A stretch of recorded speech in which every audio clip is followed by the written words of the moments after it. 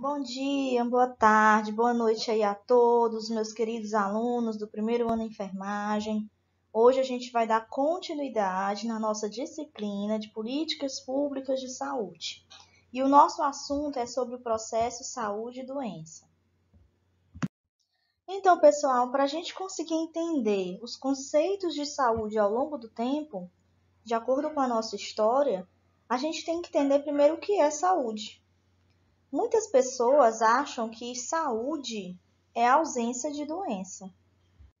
E isso fortalece uma das concepções mais enraizadas e limitadas da nossa sociedade. E aí fica aquela pergunta: o que é saúde? O que é ser saudável? Então, para a gente conseguir responder a, essa, a essas perguntas, é importante a gente ter um olhar mais crítico, mais amplo para uma série de fatores e situações que podem determinar as condições de saúde daquele indivíduo ou aquele grupo de pessoas. É como se a reflexão sobre esses conceitos de saúde de um indivíduo ou de uma comunidade fosse através da observação da qualidade desse indivíduo no seu dia a dia, ou seja, a qualidade de vida desse sujeito e da sua comunidade.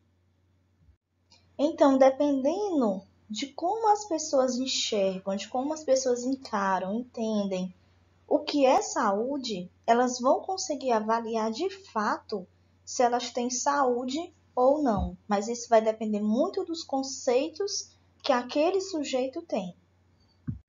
Então, esses conceitos de saúde, eles foram evoluindo ao longo do tempo e nós temos aí uma grande conferência, como eu havia falado na aula anterior, que foi a oitava Conferência Nacional de Saúde em 1983, 86, perdão, e diz que saúde é um completo bem-estar físico e social, e não meramente ausência de doença. Então, pessoal, o conceito de doença ele vai muito além do bem-estar físico, mental, social. Então, aquela pessoa que ela se diz que tem saúde, ela tem que estar tá muito bem fisicamente, mentalmente e socialmente. Então, a saúde ele é um conjunto de situações, conjunto de fatores que vão envolver aí uma boa alimentação, uma boa educação, uma renda satisfatória, um meio ambiente adequado para que aquela pessoa consiga se desenvolver, consiga se socializar, o trabalho, o transporte, o emprego, o lazer, a liberdade, o acesso né, à, terra, o acesso aos serviços de saúde. o resultado dessas formas de produção, a gente vai conseguir definir aí as possíveis desigualdades que, pode, que podem acontecer de acordo com os níveis de saúde. Essa figura representa a nossa Constituição Federal do Brasil. A nossa Constituição é como se fosse uma espécie de lei máxima do nosso país, porque ela vai traçar os parâmetros jurídicos e vai conseguir definir os princípios e diretrizes que vão reger a nossa sociedade. É como se ela organizasse e sistematizasse um conjunto de preceitos, normas, preferências, prioridades, como se fosse um pacto social constitutivo de uma nação. É a lei fundamental do nosso Estado, é a lei suprema. E a nossa Constituição traz os conceitos de saúde, que diz lá no artigo 196 que a saúde é direito de todos e dever do Estado que é garantida através das políticas sociais e econômicas, que tem como objetivo reduzir o risco de doenças, evitar os agravos e garantir que a população consiga ter um acesso universal e igualitário às ações e serviços para promoção, proteção e recuperação da saúde.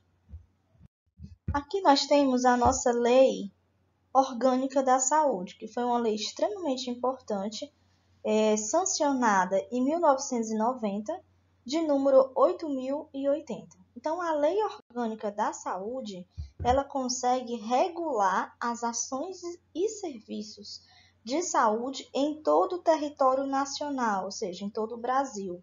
E ela vai conseguir também estabelecer os princípios e diretrizes objetivos do nosso SUS, o Sistema Único de Saúde.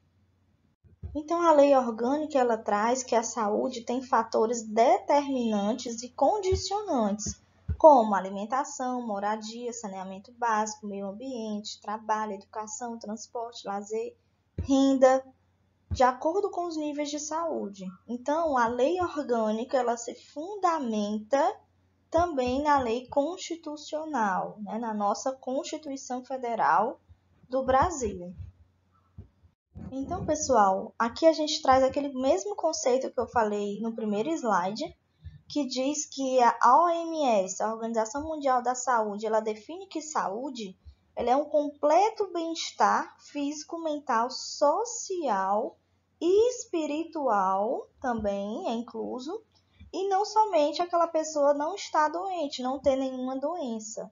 Então, saúde vai muito além desse aspecto, né? A pessoa tem que estar, como, como eu havia falado, tem que estar muito bem fisicamente, mentalmente, socialmente, espiritualmente. Aí sim a gente considera que ela está 100% com saúde. Então, pessoal, a gente conseguiu visualizar os conceitos de saúde ao longo do tempo. Hoje, o conceito de saúde ele está mais amplo, ele está mais abrangente todos aqueles condicionantes, aqueles determinantes de saúde que a gente já conversou, né? Educação, renda, meio ambiente, isso tudo é muito importante. Porém, a participação do paciente, ou seja, das pessoas, no autocuidado dentro de um projeto terapêutico é extremamente importante. Então, aquela clínica, aquele hospital, aquele posto de saúde precisa ter um atendimento hoje compartilhado de toda a equipe de saúde dentro desse projeto terapêutico, no qual as pessoas precisam tomar conhecimento do problema que ela tenha. Por exemplo, chega um paciente que ele foi diagnosticado com diabetes do tipo 2. Então ele precisa saber qual o risco que ele tem, ele precisa saber como é que ele faz o uso da insulina, se for o caso. Por exemplo, ele precisa saber os seus hábitos alimentares que vão precisar mudar. Ele precisa entender que a atividade física é extremamente importante. Ele tem que entender também quando ele sentir algum sinal, algum sintoma, ele deve procurar o serviço de urgência e, e, e emergência. Então, pessoal, esse sujeito ele participa do autocuidado.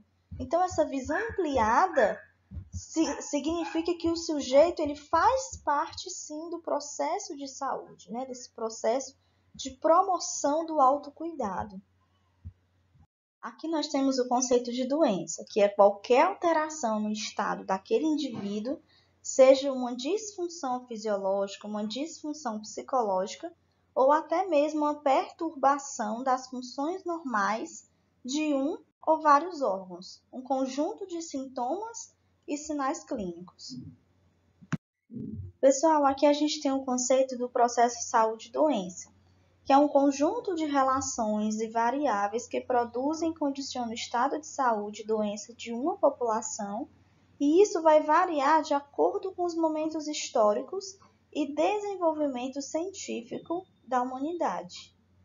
É como se o processo saúde-doença fosse um processo dinâmico, multidimensional, complexo, com várias dimensões psicológicas, socioculturais, econômicas, políticas e biológicas. Ou seja, uma complexa interação quando se trata aí de saúde e doença de uma pessoa, de um grupo social ou de uma sociedade. Então, no modelo multicausal, nós temos aí o hospedeiro, que é o homem, o agente etiológico, que pode ser considerado o microorganismo, e nós temos o ambiente influenciando a propagação, a instalação de alguma doença. Por exemplo, se eu tenho um ambiente contaminado, uma pessoa sadia que tem contato com esse tipo de ambiente, ela pode chegar a ficar doente.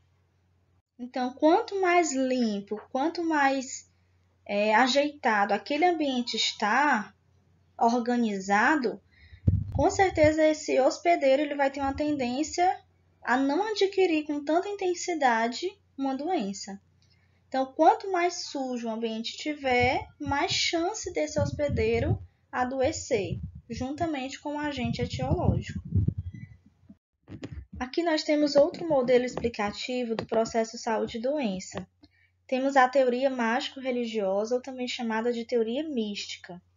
Então, antigamente, as pessoas acreditavam em várias coisas, inclusive em deuses, em espíritos bons, maus, é, as pessoas entendiam que as causas das doenças que aconteciam na época eram através de elementos naturais ocasionados pelos espíritos sobrenaturais. Então, o adoecer era concebido como resultado de transgressões de natureza individual e coletiva. Era como se a saúde fosse entendida como um equilíbrio entre os elementos que vão compor o organismo humano.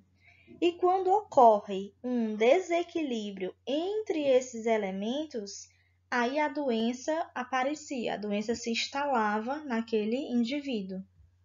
Eles acreditavam também que a causa desse desequilíbrio estava relacionada ao ambiente físico, como por exemplo, os astros, o clima, os animais. Então, pessoal, a teoria mágico-religiosa ela tinha um forte enraizamento, uma forte história, e ela foi bem marcante, porque ela conseguia influenciar as formas de pensar entre a população no aspecto desse processo de saúde e doença na sociedade. Então, a gente tinha aí os incas, os xamãs, os pajés, que eram pessoas responsáveis por tentar buscar a cura, principalmente entre os índios brasileiros. Então eles utilizavam aí chás, ervas, né, através de rezas, ritos. Então eles tinham muito esse esse sistema que eles acreditavam que, que funcionavam. E também as, tinha as benzedeiras e as, os curandeiros, né? Mais aí na região da África. Então, à medida que as diferentes civilizações vão se desenvolvendo e se consolidando, vão surgindo outras formas aí de enfrentar os problemas, de enfrentar as doenças. Pessoal, aqui nós temos uma outra teoria, que é a teoria miasmática, através dos miasmas. Essa teoria, é, as pessoas na época acreditavam que os odores fétidos, né, aquele odor, aquele mau cheiro, eliminado pela decomposição da matéria orgânica, dos lençóis freáticos contaminados, de pessoas mortas, de animais mortos, de restos vegetais que são eliminados aí através do solo, eles liberavam partículas, substâncias no ar que as pessoas, quando inalassem, elas adoeciam.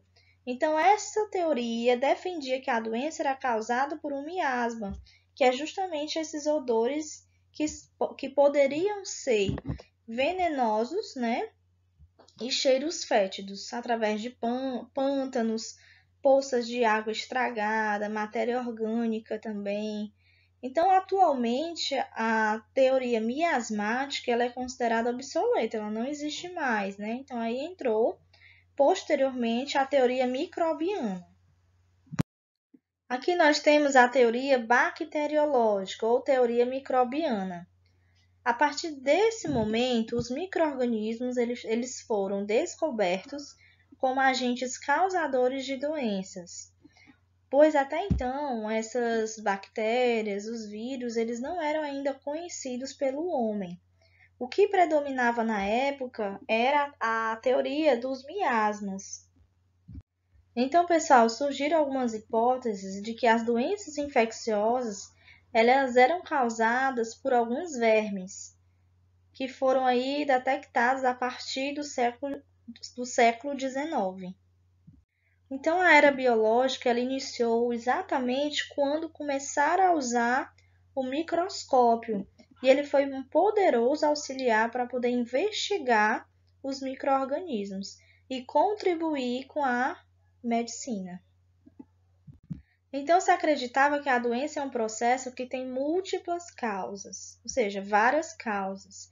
Essas causas podem estar interligadas a fatores físicos, químicos, biológicos, ambientais, sociais, psicológicos, culturais, cuja presença ou ausência possa, mediante ação efetiva sobre um hospedeiro susceptível, que no caso aí pode ser o homem, construir um estímulo para iniciar ou perpetuar um processo de doença. Então, esse microorganismo ele encontra uma porta de entrada, que aí pode ser aí o homem, né? Esse hospedeiro susceptível. Quando ele entra, a doença se instala. E aí pode ser com que essa doença evolua ou não. Aqui nós temos o modelo multicausal, que é um dos modelos mais utilizados hoje, que a gente começa a perceber que para a doença se instalar no nosso corpo, tem que ter a presença de um agente infeccioso, que aí ele pode ser um microorganismo, né? Pode ser aí uma bactéria, um vírus, um fungo, um protozoário. Tem que ter um hospedeiro susceptível, que pode ser, pode ser, por exemplo, um homem, o um animal ou uma planta. E nós temos o ambiente, que ele influencia diretamente no processo saúde e doença.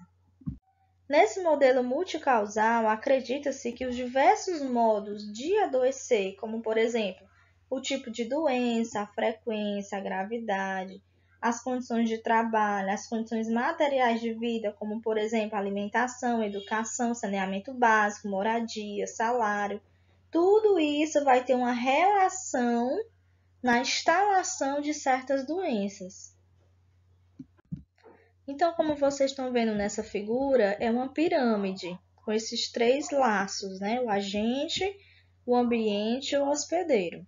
Então, nós temos aí o que, que pode influenciar? A idade desse indivíduo. Então, idades extremas, como por exemplo os recém-nascidos, os idosos. Como são idades mais extremas, são idades mais vulneráveis a adquirir alguma infecção. O sexo, que também interfere, né? Então, nós temos respostas a, a determinadas doenças de sexos diferentes, né? Homens e mulheres. A raça, os hábitos, os costumes. Então, várias causas, né? São necessárias para acontecer para que aquela doença ela se instale. Quando a gente fala de modelo multicausal, a gente tem que lembrar também da história natural da doença, que é o início da doença, a partir do momento que ela se instala naquele organismo, naquele hospedeiro susceptível, porque ele vai estar exposto, até o seu término, até a recuperação dessa pessoa, ou até mesmo o óbito. Então, a história natural da doença em outras palavras, é o modo próprio de evoluir de, é, que tem toda doença ou processo, quando ele deixa de seguir o seu próprio curso. Dentro desse contexto, nós temos alguns períodos, que é o período pré-patogênese. Esse é o primeiro período. É a própria evolução das interrelações dinâmicas que envolvem, de um lado, os condicionantes sociais e os condicionantes ambientais, e do outro os fatores próprios do susceptível, daquele hospedeiro, daquele homem, até que se chegam a uma configuração favorável, tem aquele ambiente favorável para que a doença consiga se instalar. Ou seja, é o período que se inicia com as primeiras ações dos agentes infecciosos, que eles vão entrar, eles vão perturbar, vão afetar esse hospedeiro que vão gerar perturbações bioquímicas a nível celular, a nível de forma, função, defeitos, muitas vezes permanentes, cronicidade, morte ou cura. É o momento em que ocorre uma interação dessa pessoa com o meio ambiente. A pessoa ainda não teve contato com a doença. Aqui nós temos alguns fatores sociais que podem influenciar o período da pré-patogênese. O primeiro é o fator socioeconômico. Pessoas que são mais privilegiadas, que possuem um, um valor socioeconômico melhor, né, uma vida melhor, então ela está menos sujeito à ação de fatores ambientais. Já a pessoa que tem um poder aquisitivo menor, tá? Que é uma classe social, não tão econômica, elas vão estar tá mais desprivilegiadas, então elas vão estar tá mais vulneráveis.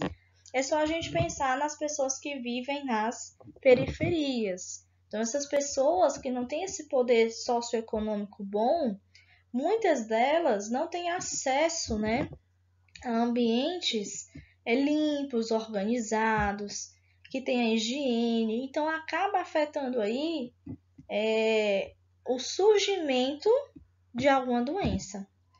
Fatores sociopolíticos, aí a gente tem que pensar nas decisões políticas, nas políticas públicas de saúde, na participação comunitária.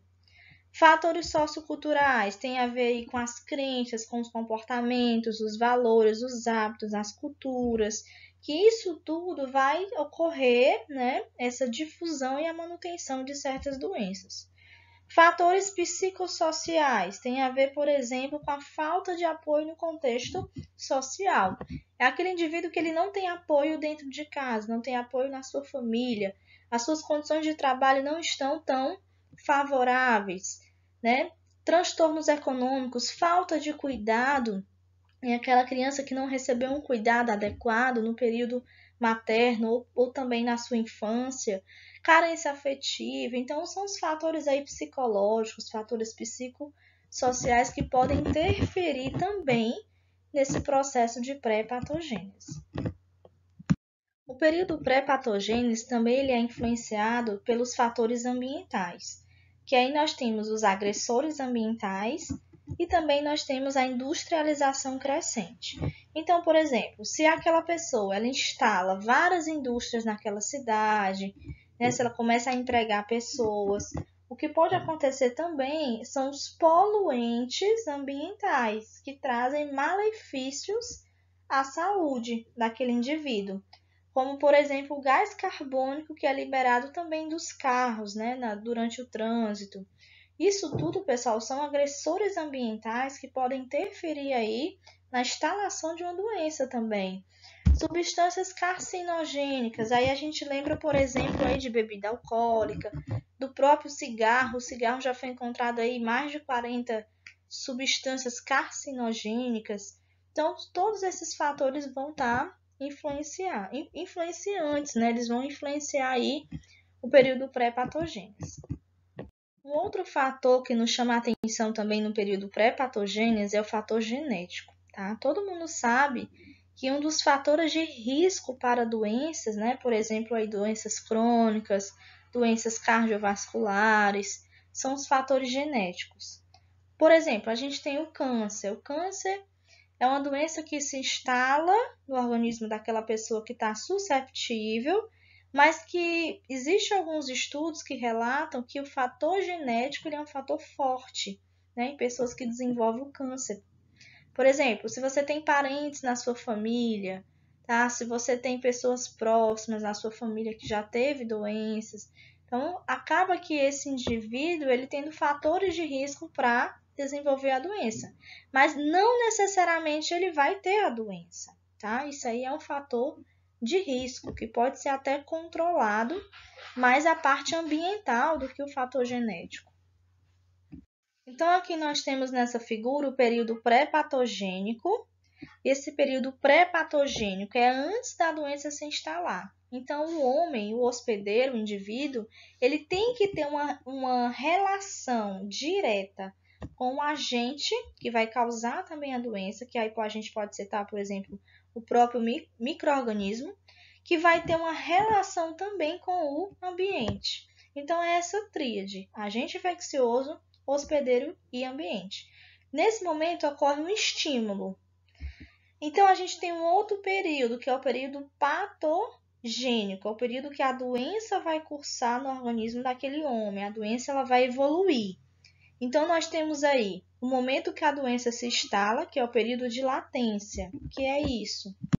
É um período no qual os sintomas de uma doença desaparecem apesar do hospedeiro estar infectado e ser capaz de transmitir a doença.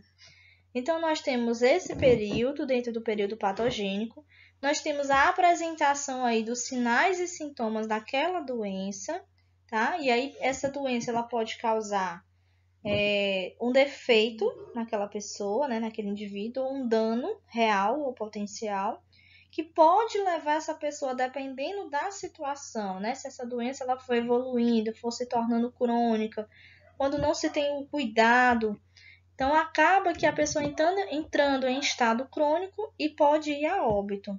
Então ocorre aí uma interação, um estímulo com o hospedeiro e a reação do próprio hospedeiro ao eliminar ou não a doença, tá? Então é importante, pessoal, a gente ter aí a consciência de desenvolver a promoção à saúde e a proteção específica daquela pessoa. A gente chama isso aí de prevenção primária. Então, na prevenção primária é o período pré-patogênico. A gente encontra muito isso, por exemplo, no posto de saúde. Posto de saúde é a atenção básica. Então lá a gente consegue realmente promover saúde, orientar a população, tá? Por exemplo, aí, eu tenho uma pessoa que tem diabetes. Pessoas com diabetes, elas têm uma tendência, se não se cuidarem, a desenvolver o pé diabético, que são feridas que ocorrem. Então, nós temos como papel da enfermagem orientar esse paciente para que ele não desenvolva, para que ele tenha todos os cuidados, né? Os hábitos mude de alimentação, de atividade física, de, do, dos, dos próprios remédios que ele tem que tomar. Então, isso seria a prevenção, ele saber o que é a doença e saber como se prevenir, fazer parte do tratamento. Nós temos aí a, a prevenção secundária. A prevenção secundária é quando, é quando a doença ela já está instalada. Então, nós temos o diagnóstico médico mais precocemente possível, tá? E um tratamento imediato, para que a gente consiga controlar a evolução dessa doença. Nós temos a limitação do dano, como eu dei o exemplo aí do pé diabético, a gente conseguir limitar, a gente conseguir adiar esse problema, né, para que ele não aconteça. E nós temos aí na prevenção terciária, que é a reabilitação. É se por acaso essa pessoa desenvolver algum problema mais crônico devido à doença que ela está, é a gente tentar conseguir é, reabilitá-la. A gente tentar orientar, tá? E tentar prevenir os danos também. Então, tudo isso aí que eu falei são níveis de prevenção de saúde. Período patogênese, né, período patogênico, é a implantação daquela doença, a evolução dela naquele homem. Então, esse período ele se inicia com as primeiras ações dos agentes patogênicos, agentes que vão causar aquela infecção naquele indivíduo. Que é como eu falei, surgem aí as perturbações bioquímicas a nível muitas vezes celular, tá? A nível de tecido, que aí essa pessoa ela pode evoluir com defeitos com cronicidade, morte ou até mesmo se curar daquela doença. E aí essa doença ela passa por níveis, tá? Níveis de evolução. O primeiro é a interação. Sempre tem uma interação, tem uma relação entre algum estímulo, tá? Entre ambiente, hospedeiro e o agente infeccioso, que é o humano também, né? No caso aí, o agente infeccioso pode ser o microorganismo e essa pessoa está mais susceptível a adquirir pelas portas de entrada dessa infecção. Alterações bioquímicas, fisiológicas e histológicas. E o terceiro ponto é os sinais e sintomas. Quarto ponto, defeitos permanentes, como eu havia falado. Como eu falei para vocês naquela primeira aula que a gente teve sobre políticas públicas de saúde, eu citei a Lei 8080/90. Essa lei ela vai dispor as condições e o funcionamento do Serviço Único de Saúde, do sistema do SUS. E aí ele traz também dentro dessa lei os principais condicionantes e determinantes, que a gente pode ter, por exemplo, a alimentação. Gente, a alimentação ela é fundamental. Pessoa que tem uma alimentação adequada durante toda a vida jovem dela, na fase adulta, quando ela chegar, quando ela tiver mais idosa, o risco de doença para ela adquirir se torna menor. Moradia também, né? Condições sociais, o acesso ao saneamento básico. Aí a gente fala de medidas de higiene, importantíssima também para tentar se prevenir qualquer doença. O próprio meio ambiente, um ambiente também adequado. Trabalho e renda influencia também nessa parte das condições socioeconômicas, o acesso a uma boa educação, né, para que ela consiga entender o que, o que aqui está acontecendo, o transporte, o lazer, o acesso a bens, a serviços assistenciais, como por exemplo a saúde. Então, isso é direito nosso, né? A saúde é um direito de todos e dever do Estado, assim como diz a nossa Constituição de 1988. Tá ok? E aí a gente termina a aula de hoje, pessoal, ok? E aí, qualquer dúvida, vocês podem falar comigo, tá bom? Um abraço, uma boa noite. Que Deus abençoe a todos.